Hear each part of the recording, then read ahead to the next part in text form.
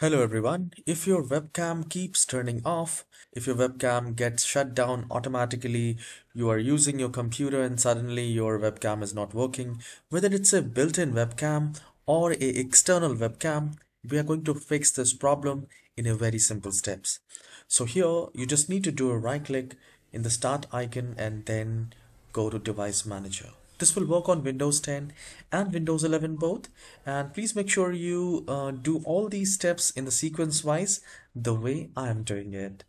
So once this uh, Windows, I mean the device manager is open, you can just simply do a right click and you can uh, click on device manager. You can also search device and then you will find device manager like this.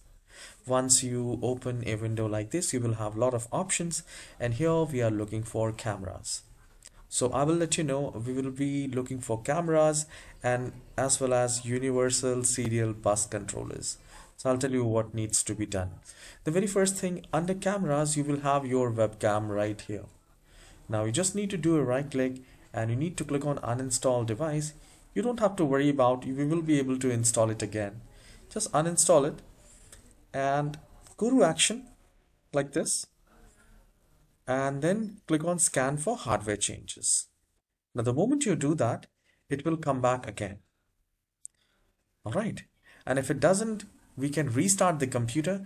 Then also we will get back this webcam. All right.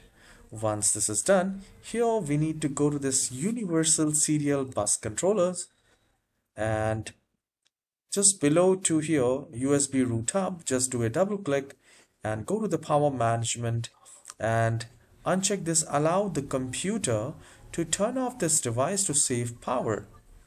Uncheck that and click on ok do the same for all options. Just do a double click and go to power management and uncheck allow the computer to turn off this device to save power.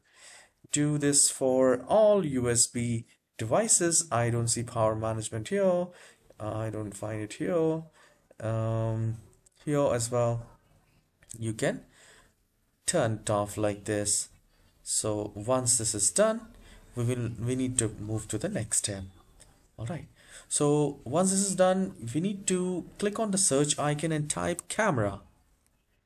All right now here the moment you click on camera you will find the best match camera and at the right side you will find app settings. All right so you can click on that and very very soon we will have a new window. Now we need to scroll down. See if the camera is turned on microphone and let this app run in the background power optimized or how exactly. So I would recommend to select always. Instead of power optimized you should select always. This will help a lot. And you can scroll down and here also you can click on repair. You can also reset just ensure this background app permission should be always not the power optimize. This will fix the problem. 99% cases this will fix the problem. And you just need to restart the computer. And one more last step which you can do which is very essential and very good um, you just need to do a right click and go to settings or you can simply search update and at the left hand side you will find Windows Update. Install all the latest updates which you have. If your computer is up to date, well and good. And if it doesn't, update your Windows if you have any important essential updates pending. Install all of it, restart the computer and your camera webcam keeps turning off will be fixed. This problem webcam problem will be uh, you know eradicated and you will enjoy your computer. I hope you have enjoyed this very short tutorial. Guys, please hit the like and subscribe. Just hit that smash button and let me know in the comment section if this video has helped you, which step has fixed your issue. Please do let me know. All these things really motivates me to make more tutorials like this. Have a wonderful day. Good day, guys.